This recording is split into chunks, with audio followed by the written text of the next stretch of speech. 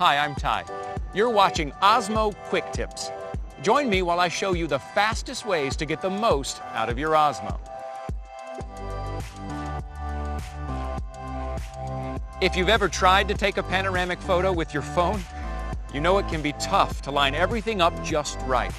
As hard as you might try, it's nearly impossible to turn a consistent speed and to keep your hands at just the right level. Using a normal camera on a tripod makes it easier to line things up, but adds a lot of work after you're done taking your photos.